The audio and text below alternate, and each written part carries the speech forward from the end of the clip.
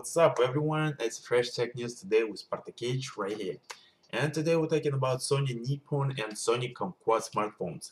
The MWC is coming in a few weeks and Sony is definitely up for some announcements there. The Xperia S has already stolen the spotlight, but it is yet to see what's coming. Today we got a glimpse of that.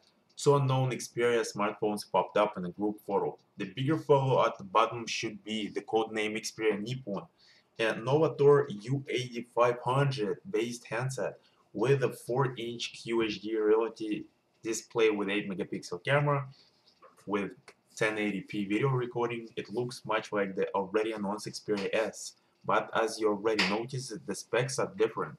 The smaller Xperia gadget at the top should be perhaps the one rumored as Kumquat, the Xperia Mini successor.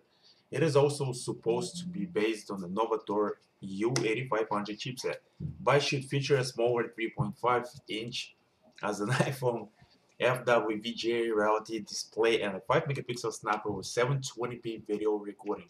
It, it could be also the previously leaked Xperia Pepper, but the device with the picture seems smaller than the Pepper. The next gen NovaThor based Xperia are underway for sure. Sony is now preparing for the MWC in February, so we won't have to wait too long before the official announcement. For more info, visit gsmarena.com. That's it for now. Subscribe to my channel up here. If you like my fresh tech videos, leave your comments and questions down there. That's it. Thanks for watching.